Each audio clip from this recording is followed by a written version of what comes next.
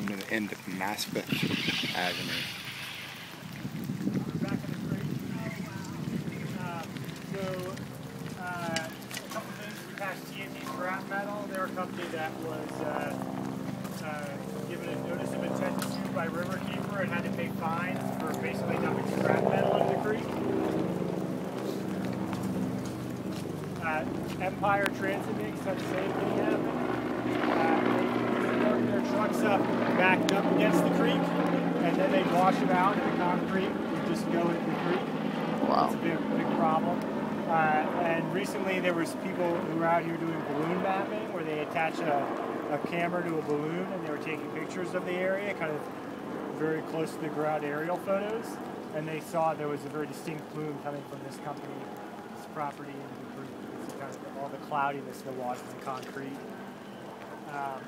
Um, a salt shed for uh, Department of Sanitation. Uh, 56th Road over Queens. It used to be a bridge here called the, I think it was called the Penny Street Bridge.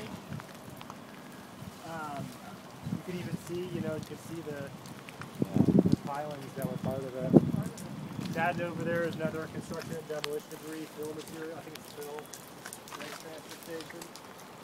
Um, it seems like that pile of dirt never gets moved because it's got entire vegetation still on top of it.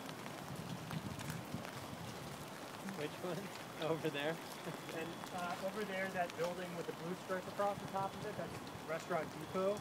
And that property was Phelps Dodge. Phelps Dodge was a copper refiner. They made copper and they made uh, uh, sulfuric acid. Sulfuric acid was used by the refining industry as well as a, kind of a basic component in much of the chemical industry even today, I think. Yeah. Um, and they're one of the parties that the Attorney General uh, filed a, you know, that they basically were trying to work out some sort of agreement about cleaning up Newtown Creek, and that now they're negotiating with the EPA about their responsibility for cleaning up the creek. Uh, supposedly they used to uh, take the kind of molten leftover materials and actually dump them on their property to fill in the creek and create more land for themselves. So, and uh, they uh, maintain ownership over the kind of front strip where the bulkhead is, uh, and they run a uh, groundwater pump and treat sys- system over there. Can you see this plume Tried to here? sell it off to the post office. Yeah, they sold the post office, and the post office uh, sued them to make it, make them take it back, and then they sold it to uh, the guy Philip Glass, uh, who runs a trucking company in the area. And then I'm not sure who owns the other parcels. It's like three different parcels, and then the middle one got developed. What? Who do you guys deal with most? Is it DP, PA, HBC? Like, how do you know whom to call? Yeah, so it's everybody has their own little uh, area of authority. So the EPA is only involved now because of the Superfund, Uh-huh. and the reason that they got involved was because the uh, Department of Environmental Conservation for the state asked the EPA to get involved. They said it was beyond their capacities, beyond their resources, both at Gowanus and Newtown Creek, and the EPA they ran a process, they, they do a study, and then they nominate it, and then they say, yes, it can be a Superfund site. So EPA is responsible for remediating the sediments in Newtown Creek. For remediating Newtown Creek, they're only responsible for looking at upland properties, shoreline properties, if the groundwater from those sites is impacting the creek.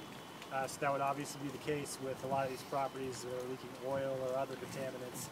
Um, and then DEC is responsible for running the uh, brownfield cleanup program and the super state superfund program. And so there's some properties around the creek that are enrolled in those. Superfund properties are normally ones that don't have an entity that either wants to develop them or who can be really responsible for cleaning them up.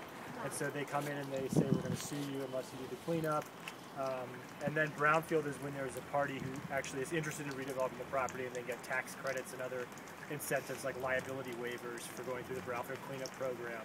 Uh, DEP will come into play when you're dealing with water quality issues in the sewage treatment facility and the combined sewer overflow outfalls.